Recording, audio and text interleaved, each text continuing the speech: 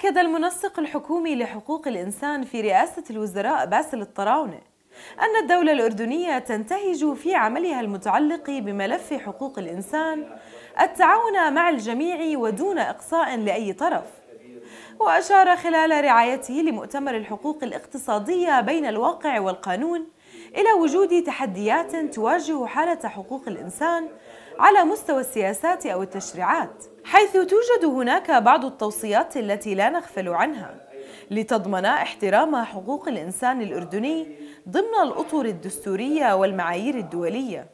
وبينت رئيسة الجمعية الأردنية لتحسين بيئة العمل لانا النمري أن الجمعية تسعى إلى تعزيز قيم الديمقراطية واحترام وتطبيق حقوق العمل من خلال نشر الوعي وبناء الكفاءات الوطنية.